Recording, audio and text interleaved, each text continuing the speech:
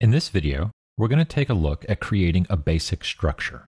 Now, the basic structure that we're talking about here is basically just any non-moving object, something like a house or, in this case, a building. We're going to use polygons to create our structure, and we'll start with a primitive cube. So I'll go to Create, Polygon Primitives, Cube. Now, I want to put the cube on top of my grid plane and we'll use that grid plane just as kind of the artificial floor. So to do so, I want to move the pivot point of my cube to the base of its geometry. I'll hit W just to bring up my move tool, and I'm also going to hit F just to frame everything up here and get a little closer to my object. Then I'm going to hold D as in dog and V as in Victor to snap to point, and I'll drag this down in the y axis and just drag it to a single vert. That way it is now centered at the base of my object. And I only dragged that down in the y axis. Then I'm going to hold X and snap that to the top of my grid. Now I have the pivot point at the base of my object, and my object is sitting on top of my XZ plane or my grid plane. I want to add additional geometry here, and I also want to increase the overall size or scale of my cube. I'm going to do this by manipulating my construction history. I'm going to go to Polygon Cube as my input. This is my construction history node here. And let's change the width, and I'll just click on that value, and we'll enter 5 for the overall width, 10 for the height, and 5 for the depth to keep that in a nice square shape. And let's zoom out here. And let's change the subdivision width, height, and depth to match the overall scale. So I'll just enter the same values here 5, 10, and 5. And now I get a nice even division of polygons across the entire object. And since those divisions match the scale, they're all evenly spaced. So I have very uniform quads in my object. Now, changing the object there, I just lost my pivot point. I'm just going to repeat that process. I'll hold D to go into that pivot point mode, grab it in the Y, and just drag it down to the very last vert. And I'm snapping to any one of those verts. It really doesn't matter. We're just dragging it down. It could be this vertex here, it could be this vertex. Doesn't matter. They're all on that same XZ plane. And we'll bring this up and snap that to the top. There we go. And we've got a good base here for our building structure. And the first thing I'm going to do is delete one of these bottom loops here. Actually, I think we'll go ahead and take out two of these loops and I'm going to double click. I'll hold shift and double click again. And I'm also going to just hit Q to get rid of that move tool just so we can see things a little bit better. And I want to delete all of that geometry out of there, but I just want to get rid of those edge loops. I don't want to lose my faces that are through there. So to cleanly get rid of those edge loops, I'm going to go to Edit Mesh, and under Edge, I'll choose Delete Edge Vertex. Notice too that the hotkey there is Control and Delete. Now we'll just choose that, and that gets rid of those edges but it also gets rid of the associated vertices. So we don't have those lingering around either.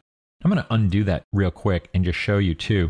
If I just hit delete on the keyboard and not choose control delete or delete edge vertex, it looks like the same thing has happened, but look at my pre-selection. The edges are broken up. There's more than a single straight edge there. And if I go to vertex I can see that none of those vertices got deleted. That's going to be our major difference there. So I'm going to back that up, just undo, and I'll hit Control Delete that time. And we'll go back to edges. Now I have solid edges through there. Okay, that's exactly what I want. Okay, let's add some windows to our building. And to do this, I'm going to switch to an orthographic view. Go to our front view here first. I'm going to right click go to face, and I'm going to draw a marquee. And by doing that, I get both faces on either side selected. So I'm doing that as opposed to just clicking on that single face. I'm drawing the marquee, which will go through the entire object and select both faces on either side. That'll save me a little bit of time, and I'll switch to the side view and we'll do the exact same thing. Okay, and now that effectively selects all of the faces going around the entire object there for my windows. With those faces selected, I'm going to choose Edit Mesh and go down to the Face portion of my menu and choose Extrude. And let's zoom up just to a face here, get a little bit closer to it. And I'm going to grab the Z axis, that's my blue axis, and we'll translate that in. Notice that we also have a scale manipulator here. I just want to grab the arrow, which is my translate or move tool. And when I move that in, that will affect all of the faces that I've extruded. And it will affect them locally. This way, we get the same translation happening on every face. And we'll just shift those in a bit. And if I wanted to lock that down to a specific value, I can look in my channel box and I have local translate Z negative 0.097.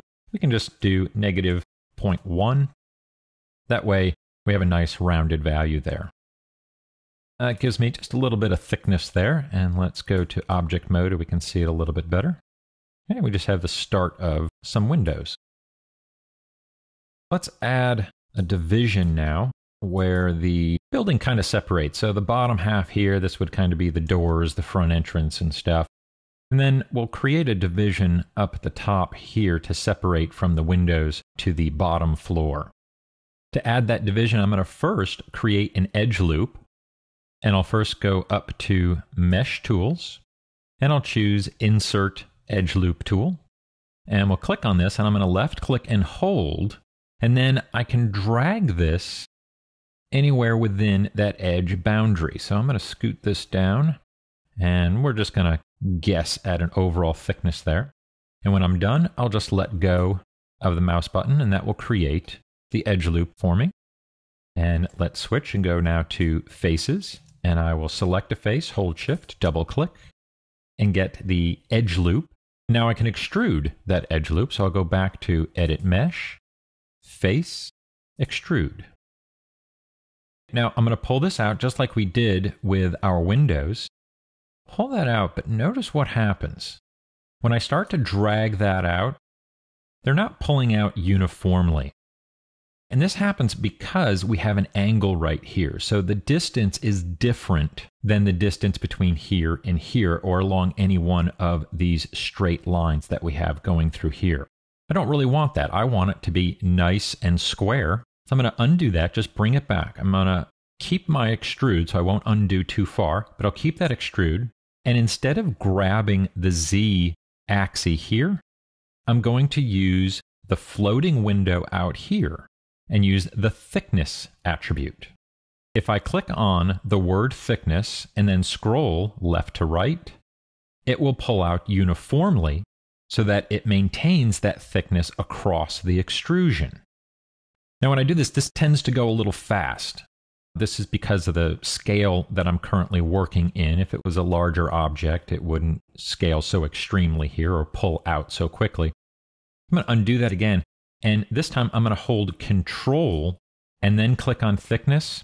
And notice what happens to the number values. When I press Control and then click, my number values decrease, and now I'm moving in increments of 0.01 as before when I let go of control, I'm moving at 0.1. So a big difference there. And I can interactively do this. I can just hold control, let go of control, hold control in order to, in effect, gain control over my thickness. Pull this out and we'll just pull that out to 0.1. 0.11 is fine. We can also go in and just type in the value right there as well. There, so now we've got just a little bit of a division there. Makes it look a little nicer. Let's jump up to the roof and we'll just add a little bit of something here. I'm going to select all the faces for the top of the roof. I don't want these extras, but it's easier for me just to select a bunch and then deselect what I don't want. That just gives me the top there. And we'll go to Edit Mesh, and I'll choose Extrude.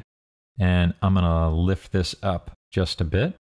And we want to lift that up actually to 0.1. That way it matches the other stuff that I'm doing down here. And let's select that entire edge loop. And I'm going to extrude this edge loop as well, but I'm not going to go through my menu. This time I'm just going to hit G, G on the keyboard. And that way it'll automatically repeat my last command. And let's add a thickness. And again, we know that thickness. We want to match it. So I'm going to make that 0.1. Then I want to select all of these interior faces. I'm going to switch to my paint select tool. We'll get the bigger brush and we'll just grab a bunch of these. Got a little extra there. And there we go. Let's just get rid of that. Okay. And now let's scale this in a bit. And I'll extrude again. And I'll just pull this straight down just to create a little bit of a surface up there for our roof. And now we have just a real basic building. We could come down here if we wanted to and add a door. Let's grab a couple of faces here. And before I add that door, I'm going to delete the bottom of the geometry so that won't get in my way. Let's just make sure we're not deleting anything extra. We'll just hit delete. I'm going to turn the grid off just so I can see things a little better. Now I could go ahead and insert another edge loop here, but I think I'll just select those three faces and let's do another extrude. And I'm going to bring this down a bit. And to do so, I'm going to use offset. And we'll bring this down to about the size of our doors. And that offset is keeping those faces inside of my other ones there. And let's just bring this down to the floor. And we can move our pivot point here as well. I'm going to hold D and convert my selection. Let's just grab those and go to vertices. All right, hold D and we'll just drag this down to the bottom of my verts there. And then we'll drag this to the floor. Now I did sandwich a couple of vertices in there. We'll take care of that in just one second, but let's grab all these faces here and we'll do a quick extrude and just push that in. And then I can go back and select these faces and delete them. And then there you can still see I've got one sandwiched in there. So if I go to face, I want to select a bunch of that just to make sure I get it. And now notice I still have three faces selected there all along the base there. And we'll just delete those. And now that makes it a little cleaner. And we'll take a look. Let's just go to object mode. There we go. We have a real basic structure, just a basic building.